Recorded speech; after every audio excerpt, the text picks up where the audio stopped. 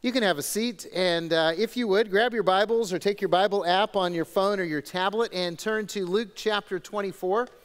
Luke 24 is our text for the day. If uh, you don't have a Bible with you or a Bible app on your device, that's fine. Grab one of the Bibles in the seats around you. They kind of look like this.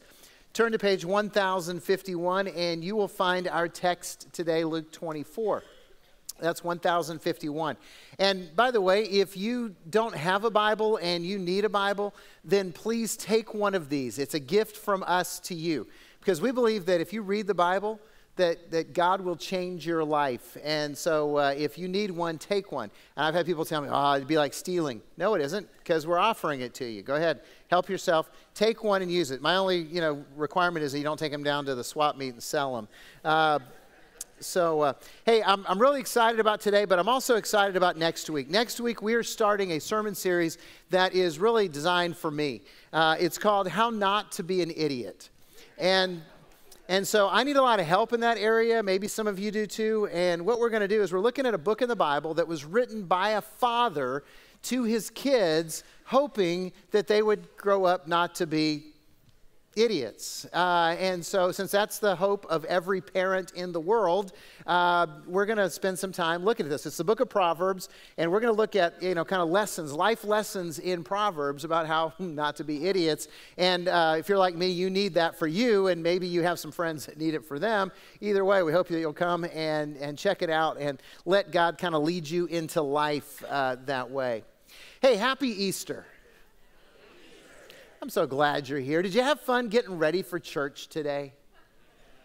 You know, it's, it's kind of different than it used to be, right? How many of you grew up where Easter Sunday morning was like all decked out and special outfits and you went shopping and all that kind of stuff? You, did you guys grow up that way? Okay, a lot of you did. Uh, and a lot of us have chosen not to inflict that on our children or whatever. But, but I, I just got to tell you, I grew up that way and I hated it. I hated it. Uh, my mom put me in uh, these, you know, clothes of Satan. Uh, and, and they're these short pant suits, right, with a little bow tie and everything. Yeah, I mean, all the moms are going, oh, that's so cute. My wife looks at those pictures from my child and goes, oh, that's so cute. Yeah, I'm still in therapy because of that. Because uh, I have older brothers, and they're like, yeah, look at the sissy in the short pant suit. Yeah not good. You know, and, and then uh, we have two girls, and when they were little, uh, my wife dressed them in matching dresses. they love that, right? You know, I don't know if you have kids and you dress them the same. They always, there's one who likes it and one who doesn't. So, uh, you know, it's not, not really cool. And, you know, and, and the best part was your mom got you ready, right? She got you ready, but she still had to get herself ready. And so there you are, the, uh, in this case, a boy who's sitting there dressed up, and mom gives that death warning that all moms are really good at, right? Well, you know what I'm about to say. Don't you get, yeah, which means you can't move. For like a half an hour, 45 minutes, you're just sitting there being bored out of your mind because that was the day before there was 800 channels on TV and, and self-entertainment things called iPads and everything. So, so you just sat there and you, and you just hated that. Or maybe the better part was dad sitting in the car, honking the horn every 30 seconds, going, come on, we're going to be late. Hurry up. Because that's just joyful. It's really hard to show up at church and uh, be ready for God then. So, hey, whatever you went through today to get here, I am glad you are here. And by the way, you look marvelous too. Just great. Hey, so my question today is this Are you ready? Are you ready? Uh, because the people involved in the first Easter definitely were not ready. They, they were not ready in the least. Uh, just think about the story. It's Thursday uh, before Easter, and Jesus gathers his 12 disciples with him to celebrate the Passover in the upper room. And this is where he instituted the Last Supper, which is what we do uh, called communion. And, and, so he did that with his, his disciples, and he said to them, he told them the stuff that just blew their mind, totally shocked them completely. He said, Hey, uh, one of you is going to betray me. And they're all freaked out, like, is it me? I don't, I don't want to do it. And then he said, All of you are going to abandon me. And they're all mad and, Oh, I'll never do that. And then he looks at Peter and he says, Peter, you're going to deny me three times before the morning. And, and see, they were not ready for the truth. Jesus told them the truth, they weren't ready for it. And then, and then you go on from there, and, and you've got the, the women and the disciples and these other followers of Jesus who are horrified when he is arrested in the garden and he is put on trial and he's condemned and he's crucified. And, and some of them grieved up close near the cross, and others grieved from afar, and some grieved and, and they were in hiding because they were afraid that they would be arrested next. But they were not ready for the pain of losing Jesus. And then came Easter morning, and the women went to the tomb. Do you think they were ready for what they found? Let's read the, the text and, and see how ready they were. Read this actually asking the question Do they see, does anybody in this story seem ready? Uh, Luke 24, beginning at verse 1, page 1051. But on the first day of the week, at early dawn, they went to the tomb, taking the spices they had prepared. And they found the stone rolled away from the tomb. But when they went in, they did not find the body of the Lord Jesus. And while they were perplexed about this, behold, two men stood by them in dazzling apparel. And as they were frightened and bowed their faces to the ground, the men said to them, Why do you seek the living among the dead? He is not here, but is risen. Remember how he told you while he was still in Galilee that the Son of Man must be delivered into the hands of sinful men and be crucified and on the third day rise? And they remembered his words. And returning from the tomb, they told all these things to the eleven and to all the rest. Now it was Mary Magdalene and Joanna and Mary, the mother of James, and the other women with them who told these things to the apostles. But these words seemed to them an idle tale, and they did not believe them. But Peter rose and ran to the tomb. Stooping and looking in, he saw the linen cloths by themselves, and he went home marveling at what had happened. So, uh, do you think they were ready for the resurrection? No, they weren't ready for the resurrection. I mean, think about it. The women went to the tomb to cover Jesus' body with spices, with, with ointments that would make him smell good while he was decaying. They were looking for a corpse. The, the, and the apostles, right? The women came and told the apostles, and the apostles dismissed their, their report as idle tales. In other words, they thought they had a group hallucination. Ah, women, you know, you can't, can't believe anything they tell you. That's what they did. And then Peter, you know, he, he runs and checks it out, and it says he marveled, but it doesn't say he believed.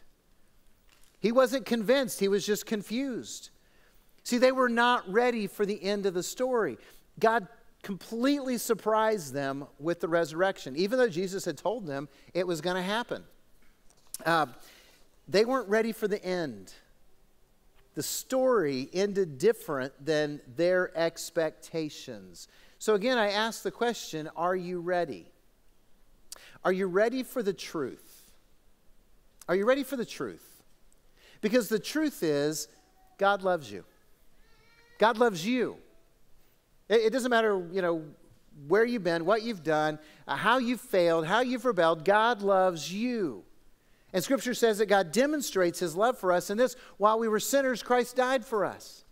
This is not like generic, you know, it applies to everyone else. This applies to you. God demonstrates His love for you in this while you were a sinner, Christ died for you. God loves you. That's the truth. And the truth is, God forgives you the moment that you ask Him. Scripture tells us if we confess our sins, God is faithful and righteous and will forgive us our sins and purify us of all unrighteousness. All of it. Because I know some of you kind of think, well, God will forgive me for most of the, my sins, but there's a couple things I've done that are way beyond that. No. God will forgive you of all your sins, all of them. Even the things that you don't want anybody else to know about, even the things you're, you're terribly ashamed of, God will take that away. He'll purify you of all your sins if you just ask Him to. That's the truth. And the truth is, God wants to, to give you life and He wants to bless you incredibly. Do you know that if you're a follower of Jesus Christ, if you believe that Jesus is the one and only Son of God and Savior of the world, and you believe that He died on the cross to pay for your sins, and you believe that He was raised from the dead, and you've made a commitment to follow Jesus, that the Bible says that God is for you, so who can be against you? Jesus put it this way He said, I have come that you might have life and have it abundantly, have it overflowing. God wants to bless you. There's some of you that really think, hey, you know what? I'm, I'm living life with fear that if I screw up, God's just going to drop a lightning bolt on my head and, and blow everything to pieces. That is not the God that we worship. That's not the God of Easter. The truth is, God loves you and He wants to bless you. And the truth is, eternal life is only found in Jesus. Eternal life is only found in Jesus. How do I know that? Because Jesus said so. John chapter 14, verse 6, Jesus said, I am the way and the truth and the life. No one comes to the Father except through me. Jesus said, I'm the way. I'm the only way. If you want access to the Father, if you want to meet God one day face to face, if you want to get to heaven when you die, then I am the only way that you can get there. Are you ready for the truth? The disciples weren't ready for the truth. I mean, uh, they argued with Jesus when he told them about the crucifixion, when he told them about the denial, when he told them about the abandonment, when he told them what was going to happen. They argued with him. Oh, no, Jesus, we're not going to do that. We're not going to let that happen. We're, no way, Jesus, you're wrong. Can I just tell you something? If you're arguing with God, you're going to lose. Okay, I, I mean, you might go, yeah, well, I'm pretty convinced that I'm right, and it doesn't matter what the Bible says.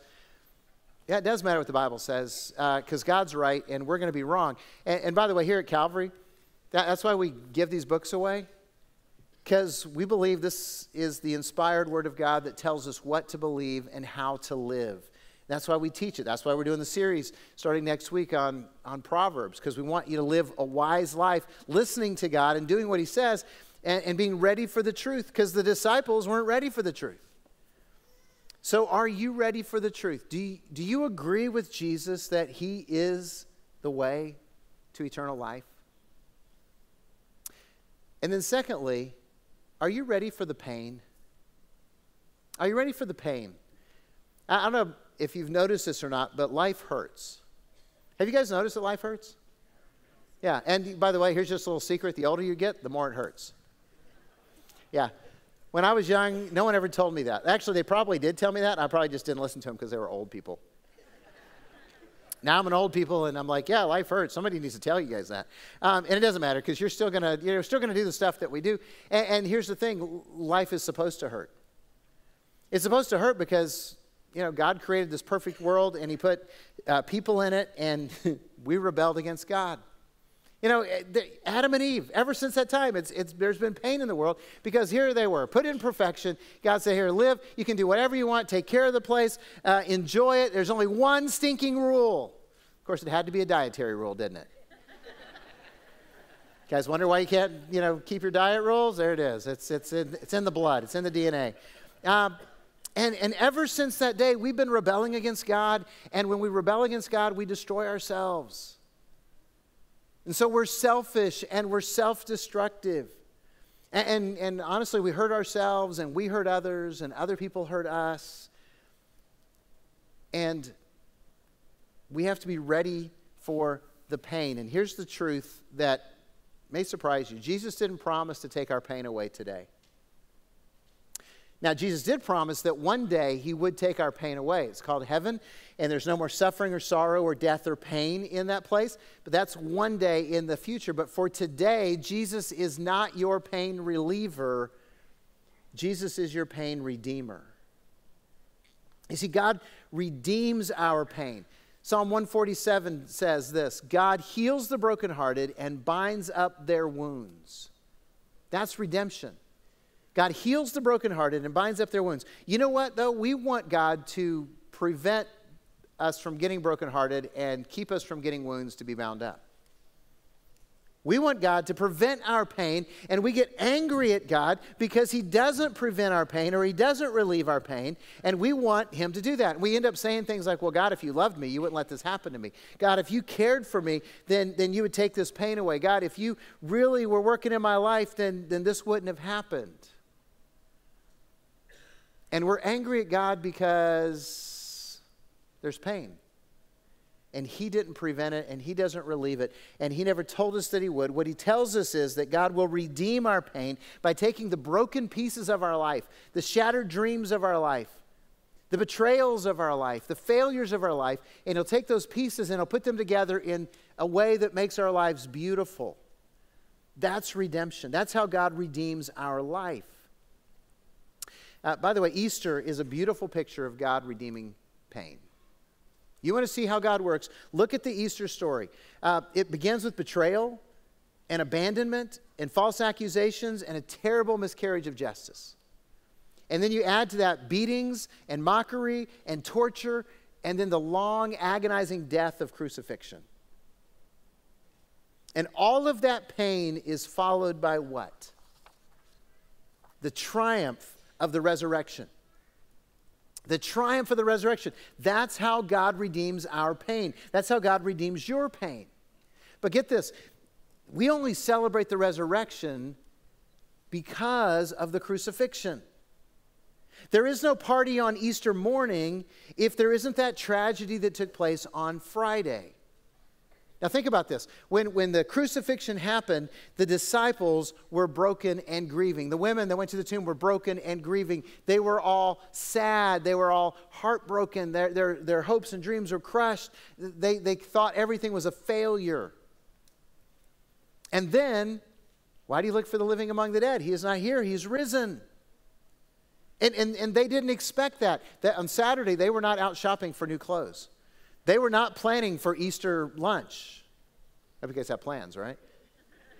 They weren't doing that because they weren't expecting God to redeem the pain.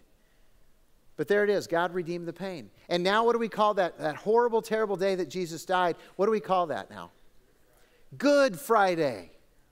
Yeah, nobody that, at that day on that Friday called that good. But see, when you look at the pain from the perspective of the resurrection, you see it differently. You see God redeems the pain. And in our lives, it's the same way. If you trust God with the pain, He will redeem the pain, which means that you can't stay angry at God when it hurts. You can't stay angry at God when your life falls apart, when the tragedies happen. You don't, you don't want to give up. I know so many people who, in the midst of the pain, they get angry at God and they walk away from God. I mean, Jim's testimony, he, he told you, I got angry, I walked away, I quit.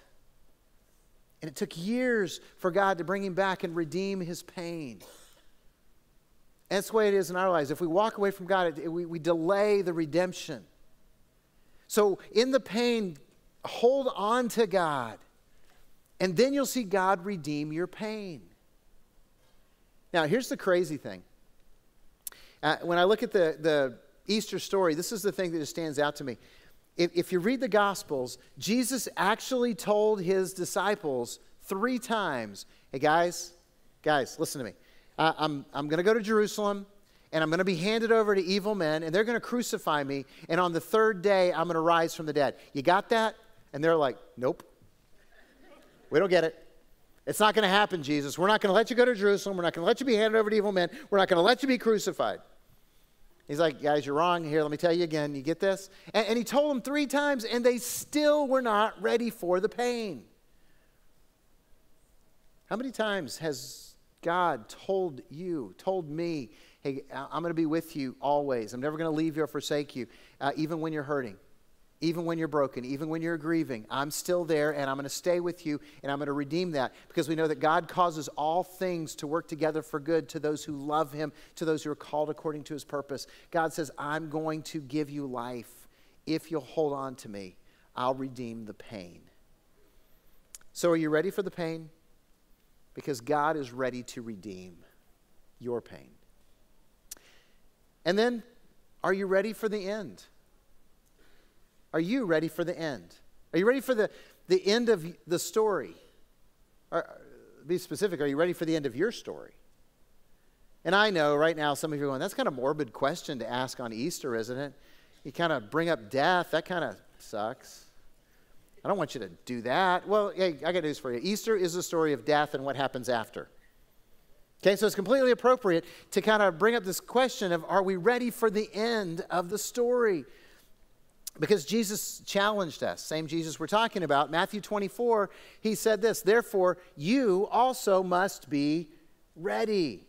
For the Son of Man is coming at an hour that you do not expect. You see, none of us knows when the end will be. We don't know when our end is going to be. We don't know when this world's going to come to an end. We don't know when our life is going to come to an end in this world. But here's what we do know we all know that life is fragile. We all know that life is fragile. You know, most of us in this room, we've lost somebody close to us. We've had to say goodbye, uh, you know, through the tears, and we've had to try to explain it to our kids. And, and maybe we were kids and we lost someone close to us and it broke our hearts. And, and we understand that life is fragile. We get that life is fragile because nowadays, uh, you know, because of the safety Nazis, everybody's got to be bubble wrapped from birth. Right? You know, uh, car seats, I, I mean, hey, uh, I'm of the generation that we were, if we, if we had seatbelts in the car, we didn't use them. Uh, and, and now we've come full circle because we understand hey, we can, we can protect people. Life is fragile. So we need to be ready. We get that. So, are you ready for the end? Now, we're sitting in church, so a lot of you can give the church answer and go, Yes, I'm ready. I believe in God. I, I hope I, I'll make it to heaven. I think I'm ready. See, the Bible is full of these parables that basically are, are, messages saying, make sure you're ready. Jesus told three of them back to back to back in Matthew 25. You got to go home and read Matthew 25. If you don't have a Bible, take one with you. I, I think I've mentioned that. And uh, so, Matthew 25, he tells these stories back to back to back about people who weren't ready, who thought they were ready, and, and they missed the opportunity. So, are you ready? Uh, I kind of lived out my own parable a few years ago. Let me share it with you because uh, this happened in my life, and, and it just illustrates how sometimes we're not as ready as we think we are. Uh, I planned the, the perfect trip. You know, uh, it, we're going to spend two weeks in Hawaii. Yes, be envious. And uh, I love Hawaii. So two weeks in Hawaii. First week, the kids are with us. We're doing all the fun stuff, you know, the ocean, the snorkeling, the beach, the waterfalls, the hiking, the zip lining. Any zip liners in here?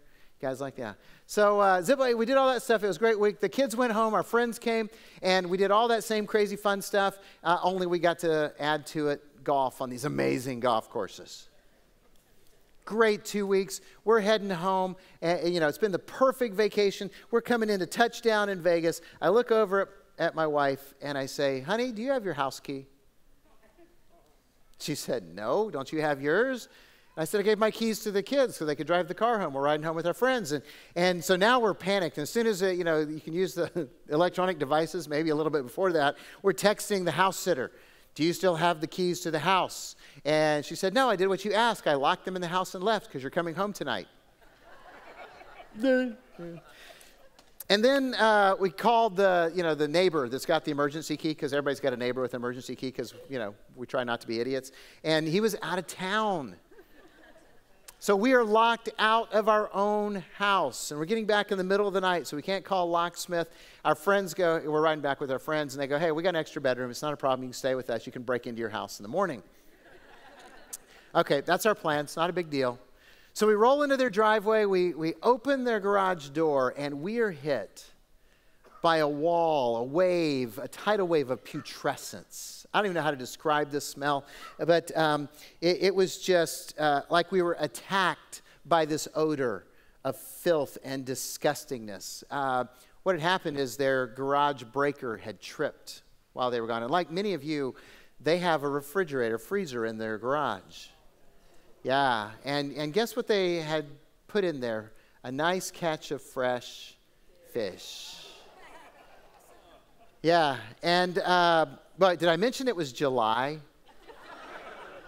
that makes it all that much better. And so here we are trying to, you know, walk through the smell, clean up this mess, you know, disinfect the house so you can actually breathe inside of it. And uh, and we had the perfect trip right up into the end, and then it stunk. so I don't want that to happen to you.